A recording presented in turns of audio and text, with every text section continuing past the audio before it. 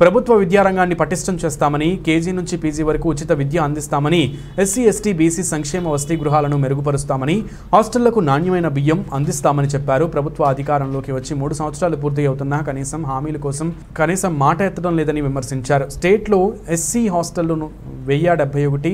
స్టేట్లో ఎస్సీ హాస్టళ్ళను వెయ్యి డెబ్బై ఒకటి. ఎస్టీ హాస్టళ్ళు ఆరు వందల నలభై. బీసీ హాస్టళ్ళు పదకొండు వందల యాభై రెండు.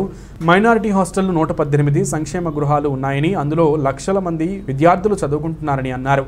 వీరి కోసం ప్రభుత్వ నిధులు పెంచవలసింది పోయి సెంట్రల్ జైలు ఖైదీ మెనూ కన్నా తక్కువ అంటే ముప్పై రెండు నుండి నలభై మధ్యలో డబ్బు ఎంత రోజుకి పెరిగిన ధరల మధ్యలో విద్యార్థికి రెండు వేల ఆరు వందల కలరీల తిండి దొరుకుతోందో లేదా ప్రభుత్వం చెప్పాలని డిమాండ్ చేశారు.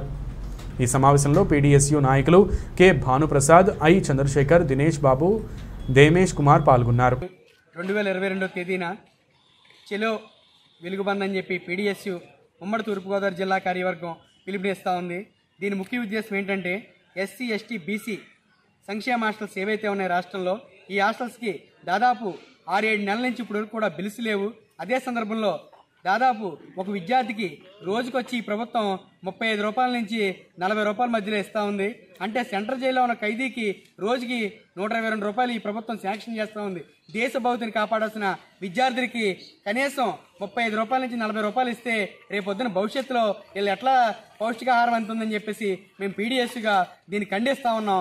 అదే సందర్భంలో ఈరోజు అమ్మఒడి కానీ వసతిదీవిని కానీ విద్యాదీవిని కానీ నేటికి కూడా పూర్తిగా ఎక్కడా కూడా విడుదల చేయకపోవడం చాలా దౌర్భాగ్యమైన పరిస్థితి అని చెప్పి మేము తెలియజేస్తా ఉన్నాం. అదే సమక్షంలో మొత్తం రాష్ట్రంలో ఉన్నటువంటి కోచింగ్ సెంటర్లని అంతా కూడా ఈరోజు ప్రభుత్వం తన వైఖరిలో ఈరోజు వాటి మీద కనీసం చెకింగ్స్ లేకుండా ఈరోజు వ్యవహరిస్తూ ఉంది. కోచింగ్ సెంటర్లో కోచింగ్ మాఫియా దెబ్బకి పేటరేకపోవడం వల్ల చాలా మంది నిరుద్యోగులు కోచింగ్ సెంటర్లో మగ్గిపోయి ఇళ్ళకి వెళ్ళలేక తమ సొంత ఊళ్ళకి వెళ్ళలేక కోచింగ్ సెంటర్లో మగ్గిపోయి ఆత్మహత్యలు చేసుకునే పరిస్థితి ఈరోజు దిగజారుతా ఉంది. కాబట్టి రాష్ట్రంలో నూతన సంవత్సరం ప్రారంభమవుతా ఉంది.